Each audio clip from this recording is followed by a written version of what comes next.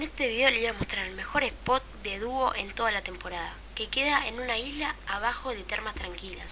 El spot tiene 12 cofres, 3 cajas de municiones, 2 barriles de jugo de fetada y 2 enfriadoras. Si no encontramos katanas, ahí podemos usar una tirolesa y a la izquierda vamos a encontrar dos katanas azuladas. Así que espero que les haya gustado mucho el video y eso, chau.